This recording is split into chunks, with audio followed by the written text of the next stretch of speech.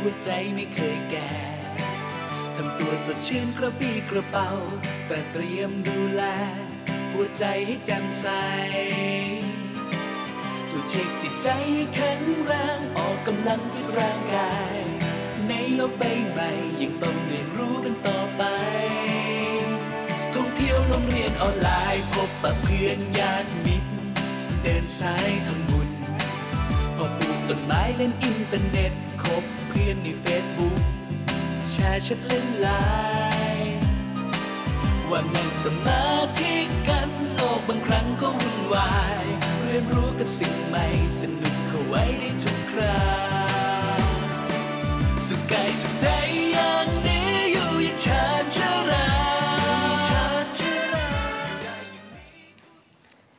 วัสดีค่ะ ต้อนรับคุณผู้ชมทุกท่านค่ะ เข้าสู่รายการชานชรา รายการที่จะพาเราทุกคนมาเตรียมความพร้อมเพื่อก้าวเข้าสู่สังคมผู้สูงอายุด้วยความรู้และปัญญาค่ะ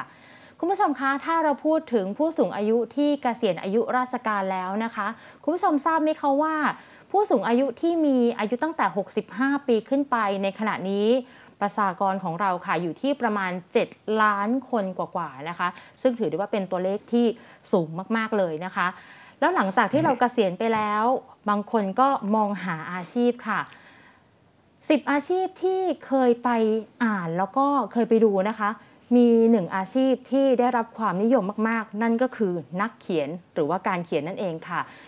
ทางกระทรวงวัฒนธรรมนะคะ ได้มีโครงการดีๆขึ้นมาค่ะสำหรับผู้ผู้ที่มีใจรักในงานเขียน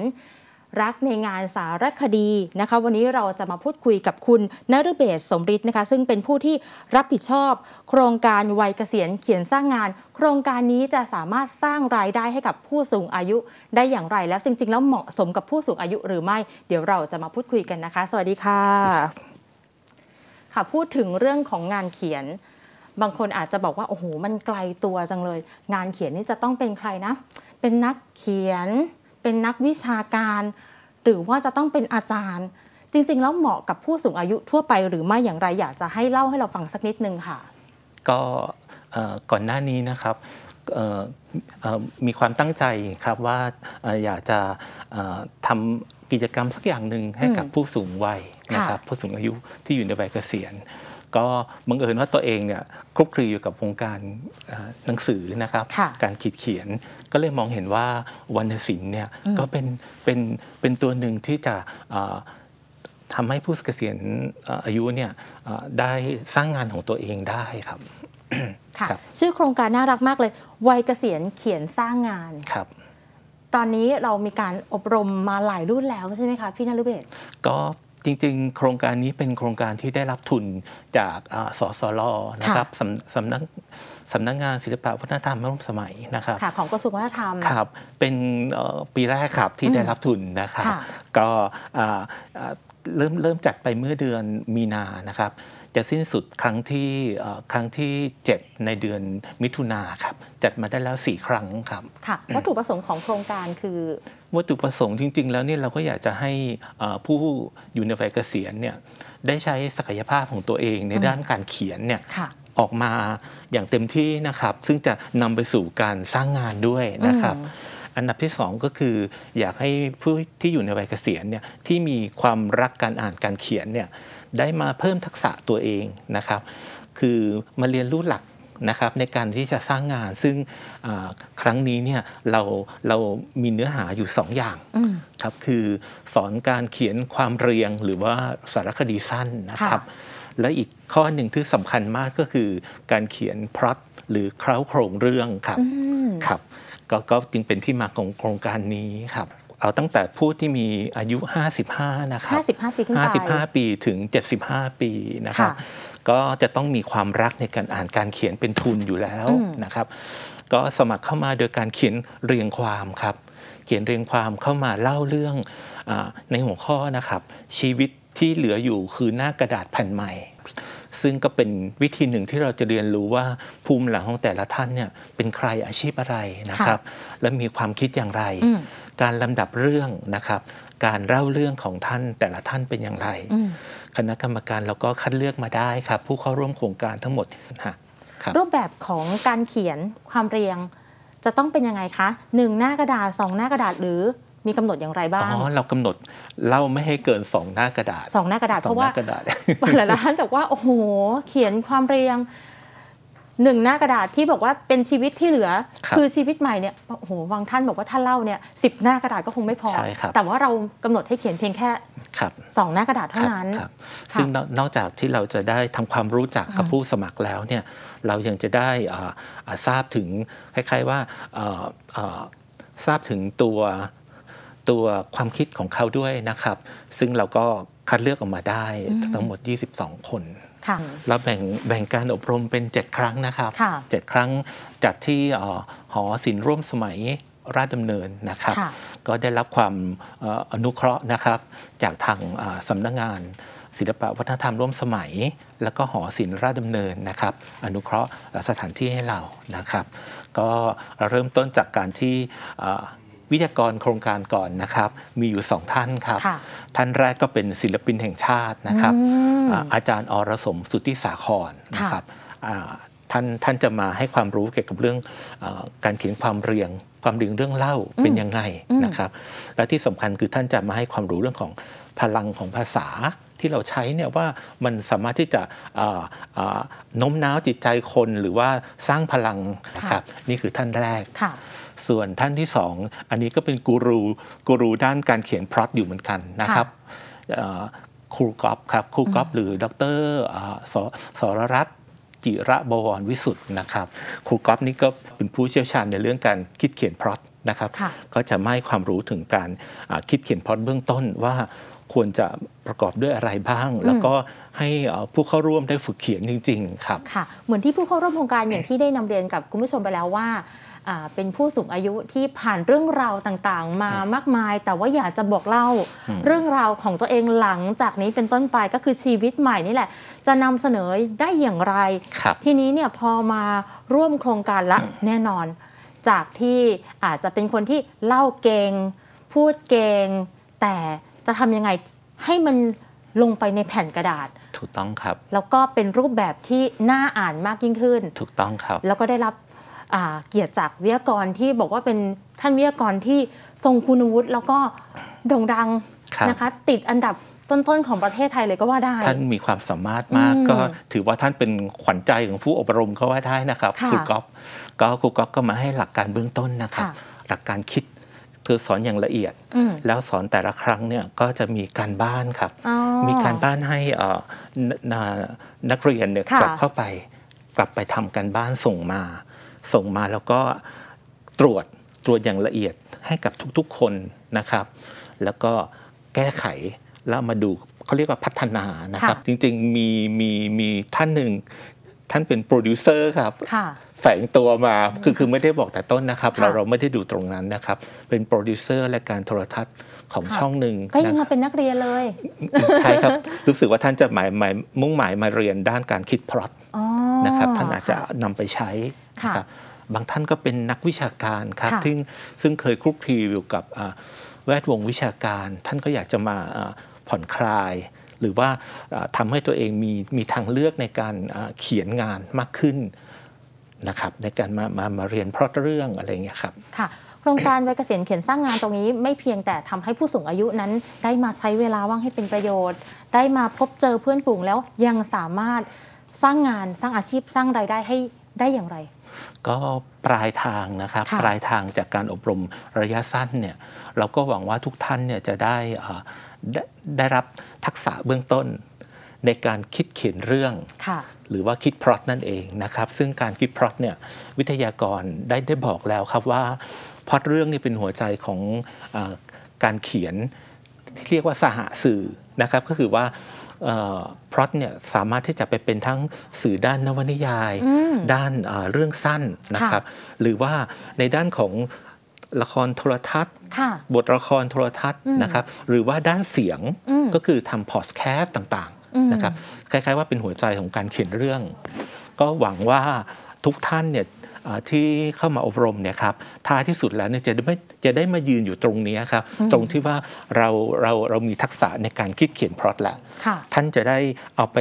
อ่าฝึกฝนเขียนให้มันชำนาญขึ้นนะครับค่ะชำนาญขึ้นแล้วก็นำไปใช้ในในการสร้างงานของท่านค่ะนะครับ แล้วก็ในการอบรมครั้งสุดท้ายเนี่ยครั้งครั้งครั้งที่ 7 ครั้งที่6นะครับ6 7เนี่ย เราก็จะมีเอ่อการอภิปรายศิวนาครับอืมเกี่ยวกับเรื่องว่าเอ่อเราสร้างงานแล้วเนี่ยเราสามารถจะนำงานไปลงสนามออนไลน์ไหนได้บ้างครับอืมครับก็ก็จะมีเป็นไกด์ไลน์ให้นะครับค่ะทั้งนี้ก็รวมถึงเอ่อเรื่องเล่าหรือว่าความเรียงที่ว่านะครับ ก็เราก็จะได้เอ่อการคิดเขียนความเรียงเรื่องใหม่ ๆนะครับ ที่เอ่อหลังจากที่อบรมแล้วเนี่ยท่านก็คงจะมีเอ่อทักษะในการเอ่อนำไปปรับ ข้อเขียนของตัวเองให้น่าอ่านขึ้นค่ะครับใครจะไปรู้ว่านักเรียนทั้ง 22 ท่านที่มาร่วมโครงการในวันนี้ในอนาคตอาจจะเป็นนักเขียนชื่อดังนะคะ สามารถเขียนพล็อตเรื่องบทละคร หรือสารสารคดีต่างๆ ก็อาจจะเป็นได้ครับค่ะซึ่งตรงนี้เนี่ยขอเรียนว่าทางครูกอล์ฟนะครับ ดรสรรัตน์เนี่ยท่านก็เป็นสะพานครับ ท่านได้ได้รับปากว่าจะนำพล็อตเรื่องทั้งหมดค่ะที่อ่าเป็นการบ้านเนี่ยนะครับ แล้วก็ให้ทุกคนกลับไปพัฒนาเนี่ยตอนนี้กำลังเอออยู่ในระหว่างการรอข้อเขียนข้อเขียนที่เอ่อพัฒนาแล้วเนี่ยท่านจะนำท่านจะนำพล็อตเรื่องทั้ง 22 พล็อตเนี่ยค่ะ ส่งผู้บริหารสถานีช่องหนึ่งครับค่ะท่านท่านท่านบอกท่านรับปากว่าท่านจะนำไปไปมอบให้กับคณะกรรมการค่ะนะครับ ซึ่งหลังจากนี้เนี่ยถ้ามีพล็อตเรื่องไหนที่เตะตาหรือว่าสะดุดใจอืมคณะกรรมการเนี่ยก็จะถูกอ่าเลือกนะครับค่ะถูกเลือกแล้วนำไปพัฒนาเป็นบทละครค่ะเป็นอะไรต่างๆ ได้อีกเยอะแยะเลยครับ นี่แหละศักยภาพของผู้สูงอายุนะครัคะบต้องบอกว่ายังมีอีกมากมายนะคะที่ หลาย ๆ ท่านนั้นทำได้ แต่เพียงแค่มันอยู่ข้างในมันยังไม่ได้ออกมาครับวันนี้โครงการวัยเกษียณเขียนสร้างงานนะคะ ก็ได้มีโครงการดี ๆ แบบนี้แหละค่ะคุณผู้ชมคะทำให้ผู้สูงอายุที่เกษียณอายุไปแล้วอยู่ที่บ้านเบื่อเบื่อเงาเงาๆดึงศักยภาพของตัวเองออกมา และแน่นอนค่ะเรามีบทสัมภาษณ์นะคะของผู้ที่ที่เป็นนักเรียนนะคะที่ใช่ครับเข้าร่วมโครงการจากหลากหลายวิชาชีพที่ท่านครับเกษียณอายุราชการมาแล้วนะคะ จะมีความรู้สึกอย่างไรบ้าง อีกสักครู่เดี๋ยวเราไปรับฟังกัน แต่ว่าตอนนี้อยากจะถามพี่นฤเบศผู้ที่สัมผัสกับนักเรียนโดยตรงก่อนว่า ผลตอบรับเป็นยังไงบ้าง ผลตอบรับก็อืมนักเรียนเนี่ยขยันทำกันบ้านส่งครบค่ะนะครับมีตั้งกำหนดใจเดทไลน์ต่างๆ ไม่ไม่พลาดเลยนะครับอืมแล้วก็จริงๆเนี่ยเราได้เราได้พื้นที่ที่ผู้สูงอายุกลุ่มหนึ่งเนี่ยผู้สูงวัยผู้ผู้อยู่ในวัยเกษียณกลุ่มหนึ่งเนี่ยได้มารวมตัวกัน รู้จักกันอืมมีมิตรไมตรีต่อกัน มีขนมนมเนยมาแบ่งกันนะครับ บางท่านเดินทางมาจากยะลานะครับอืมยะลานครสวรรค์อุบลราชธานี สุราษฎร์ธานี อันนี้ขอเรียนว่าทางทางผู้จัดโครงการก็ไม่ไม่ได้ทราบเอ่อตั้งแต่ต้นนะครับว่าจะมีผู้สนใจอยู่หลากหลายขนาดนะครับนี้ท่านก็มารวมตัวกันนะครับอ่าเป็นเพื่อนกันนะครับอ่า ในวงกรุ๊ปไลน์ของเราก็จะมีสารพันเรื่องที่จะมาแชร์กันนะครับ ก็ถือว่าเป็นเป็นพื้นที่ที่อ่า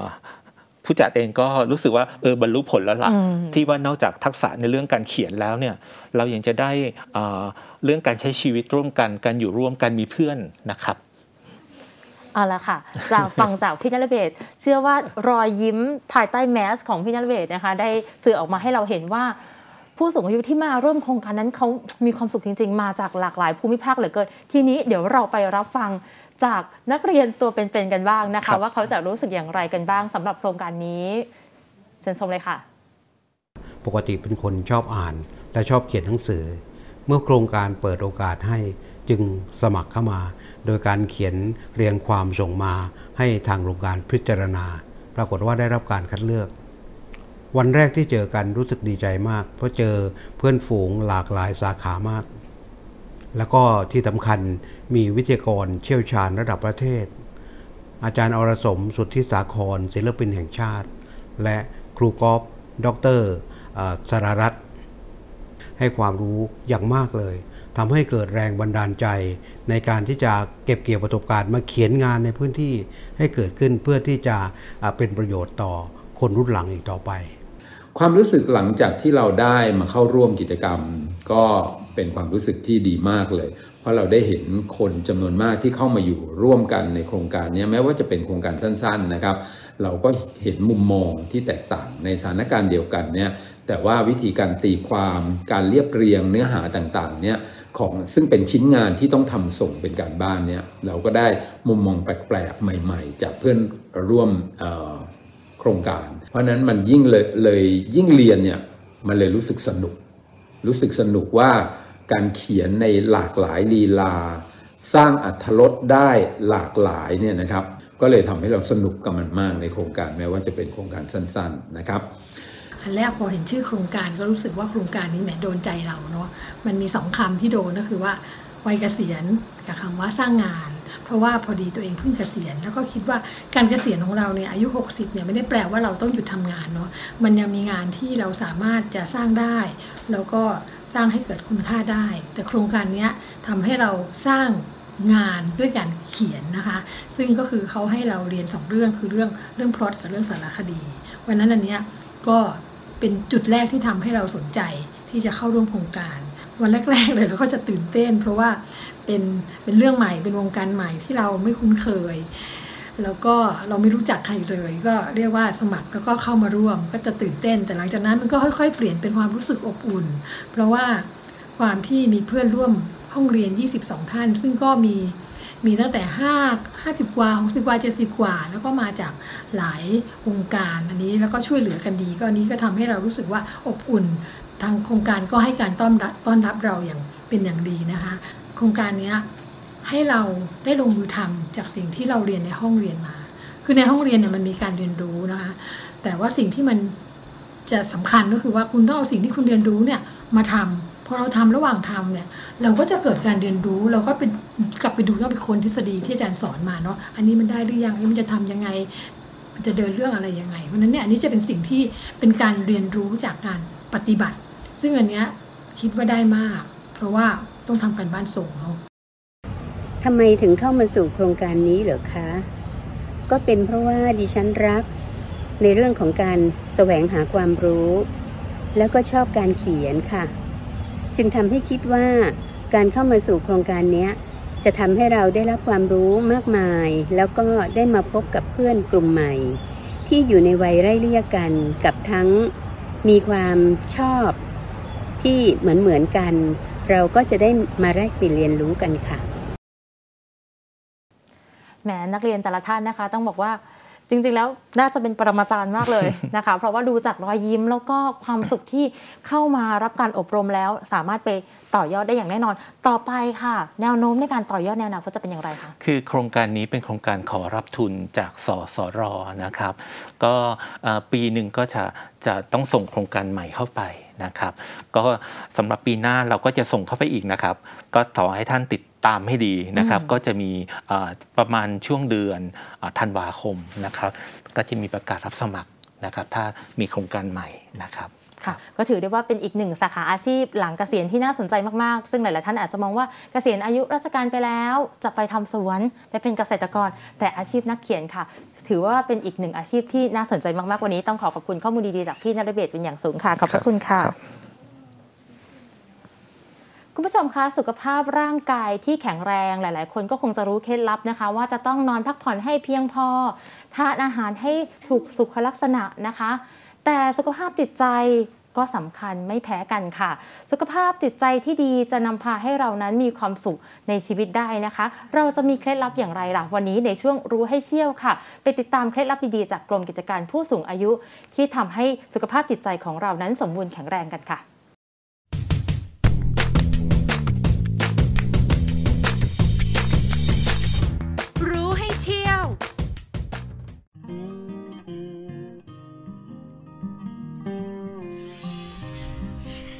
ตาคุณยายคะจ้าการดูแลสุขภาพเนี่ย คือเราต้องออกกำลังกายเยอะๆ กินของที่มีประโยชน์ใช่ไหมคะ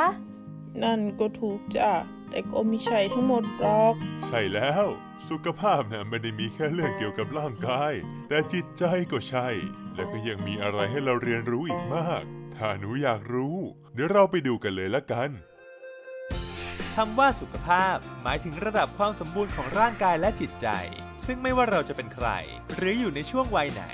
สุขภาพก็จะเป็นสิ่งที่ยึดโยงกับชีวิตของเราอย่างหลีกเลี่ยงไม่ได้ จึงกล่าวได้ว่า ผู้ที่สามารถรักษาสุขภาพได้ดีทั้งกายและใจ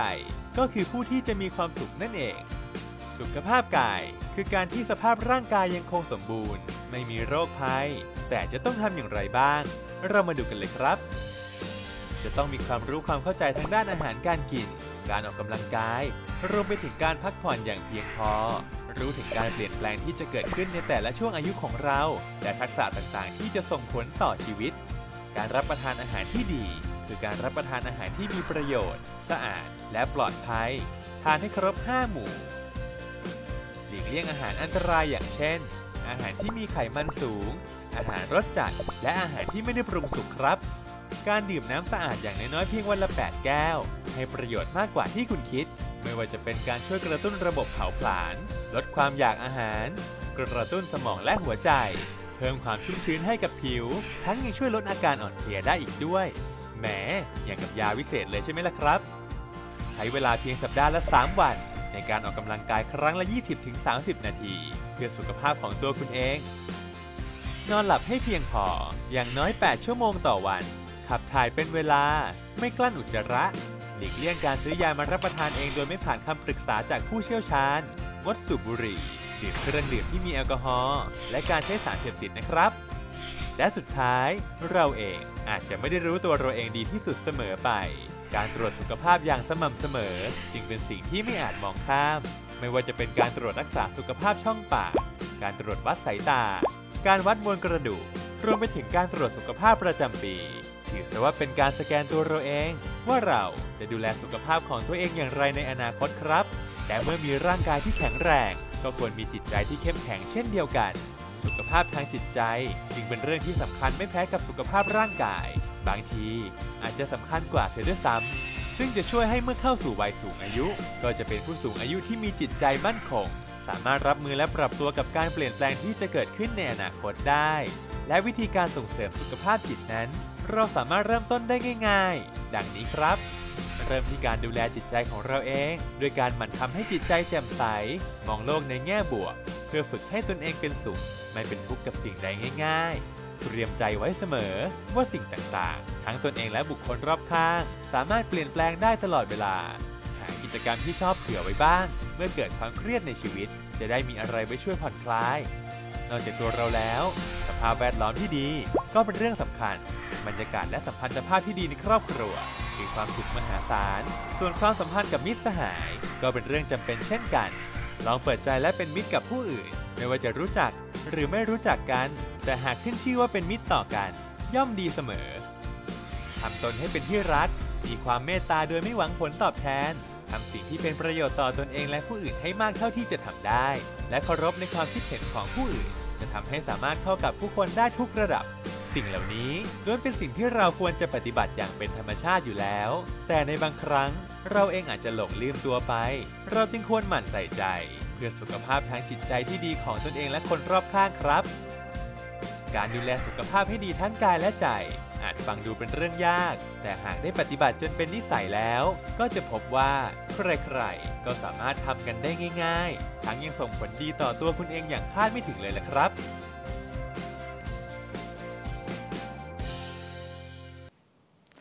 ขอบคุณข้อมูลดีๆ จากกรมกิจการผู้สูงอายุค่ะ ที่ทำให้ผู้สูงอายุนั้นมีสุขภาพร่างกายและจิตใจที่แข็งแรงสมบูรณ์ค่ะ ในช่วงสถานการณ์โควิด -19 แบบนี้นะคะ ขอให้ผู้สูงอายุทุกท่านค่ะ หมั่นใส่แมสเว้นระยะห่างแล้วก็ล้างมือบ่อยๆนะคะ รายการชานชลาเป็นห่วงผู้สูงอายุทุกท่านค่ะ วันนี้เวลาหมดลงแล้วนะคะจอเจอกันใหม่สัปดาห์หน้าปลาและทีมงานลาไปก่อน สวัสดีค่ะ